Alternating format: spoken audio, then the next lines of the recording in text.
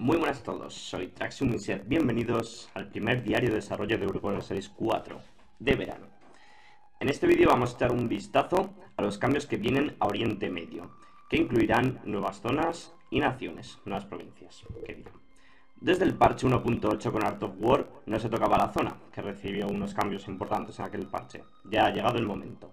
Vamos a ver Arabia y Egipto principalmente y cómo estos cambios son distintos a los de las versiones anteriores.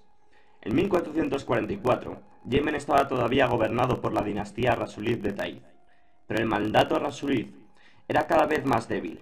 La parte de Yemen más poblada, la alta, está bajo el control de los imanes chiitas Rasid desde su capital en Sanaa, y quieren un líder adecuado para unir Yemen.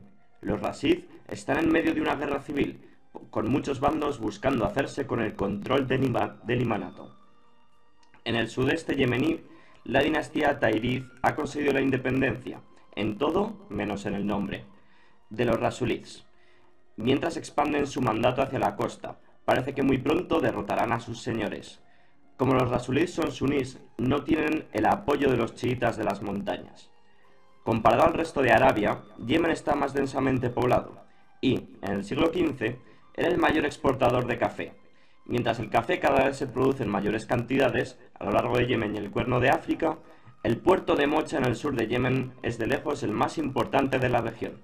Este será una de las mayores fuentes de ingresos para los gobernantes yemeníes, así como para cualquier otro poder que venga a controlar la región.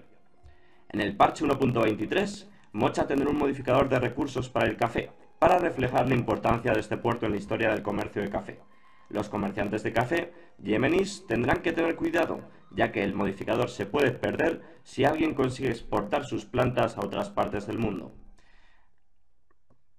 Al este, el desarrollo de las luchas yemeníes se vigila con interés por la dinastía independiente Kaziri de Adramut y el sultanato marítimo de Mara.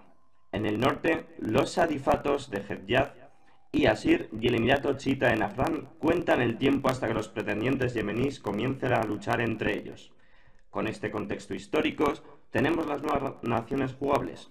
Adén, que en 1444 representa a los Tairiz y empieza como nación independiente. Los Rasid representa a los imanes chiitas de las tierras altas yemeníes. Hadramut, la dinastía Kaziri, domina la poco poblada costa desértica, así como la isla de Socotra. El Sharifato chiita en las montañas de Asir y la costa adjunta, y Nahran, un pequeño estado tribal chiita en la región al norte de las tierras altas yemeníes. Como podéis ver, Yemen no empieza formado. Para hacerlo, tendremos que controlar las provincias más importantes de Yemen. Para hacer esto en 1444, tendremos que destruir al, al sultanato Rasulid. Más al norte hallamos Edyad, que en 1444 no era una única nación. El Sarifato de la Meca, gobernado por los Hawasim, era el estado más poderoso, pero no el dominante. Sus principales rivales son los Sarifas Usainid, que gobiernan la ciudad santa de Medina. Al norte y más allá del Mar Rojo, el sultanato mameluco es un tema constante en las políticas ayadid, y reclaman ser los protectores de ambos sarifatos, a veces interviniendo en sus conflictos y otras escogiendo nuevos sarifas, Históricamente, los mamelucos eventualmente escogerían el Sarifa de la Meca como el vicerrey de Yad, uniendo los estados mediante la fuerza militar. Para dar más detalle a la zona, se ha aprovechado la oportunidad para añadir más provincias, asegurando que encajen con las rutas de caravanas que existían en la era. En vez de dividir el país en un número de pequeñas provincias fácilmente contestables, conquistables, perdón, se ha decidido mantener pocos y grandes países. Nats, con su capital en Diriyah, el futuro núcleo del actual Estado saudí, y Samar, con su capital en Jalil, permanecen en control de un área extensa que representa un número de tribus menores. En el sur, Dawasir controla varios oasis y rutas de caravanas. Y los nuevos países jugables de la zona son Medina, representando a los Harifas Unsainid de Medina, y Dawasir, representando a los Dawasir, así como otras tribus controladas controlando las rutas sureñas entre Yemen y la costa oriental. También en 1444 y hacia oriente, el interior de Omán estaba gobernado por el Imanato Ibadí, a veces llamado Sultanato de Omán, mientras que las ciudades costeras de Omán y la costa pirata estaban bajo el control del reino de Hormuz en el Golfo Persa. Eventualmente, Esta zona sería muy tentadora para los portugueses que llegaron a la región, que tendrán que escoger, bueno, escogieron atacar Hormuz directamente para tomar el control de su red de ciudades costeras. Más al este, los jabríes de Hassa habían conquistado la costa y, más importantemente, los ricos puertos pesqueros de Perlas, de Qatar y Agual. Nueva nación jugable en 1444, Has. La tribu eventualmente fundaría Dubái, pero en 1444 controlaba el oasis interior de Ligua. A lo largo de la historia del mundo islámico y la historia del Mediterráneo en sí, Egipto ha permanecido como una de las regiones más importantes para controlar. Era un nexo comercial para la lana, la ropa y las especias, pero también era un gran exportador de grano y arroz. Muchas ciudades dependían de la cosecha del delta del Nilo. Esta gran dependencia del Nilo, mientras que muchas de sus zonas son desérticas e inhabitables, significa que Egipto tiene muchas características geográficas interesantes. En el parche 1.23 se ha rehecho Egipto para tratar de adaptarlo a esa realidad.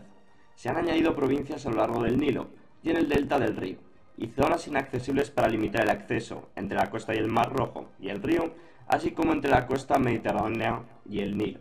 Para reflejar mejor la importancia del comercio de grano, se han añadido modificadores para las provincias de grano en el delta.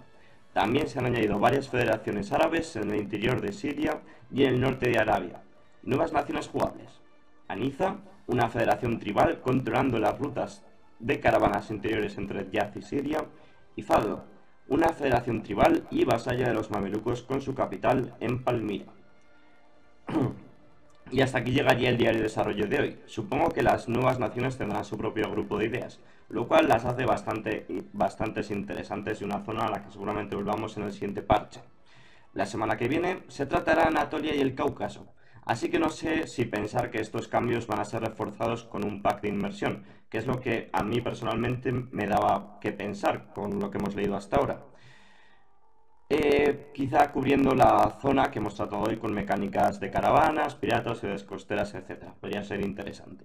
Espero que os haya gustado el nuevo formato de diario de desarrollo. Como siempre, sabe, eh, cualquier comentario constructivo es bienvenido. Ya sabéis, me podéis apoyar en Patreon, así como seguirme en las redes sociales. Muchas gracias por llegar hasta aquí. Nos vemos en el próximo. Chao, chao.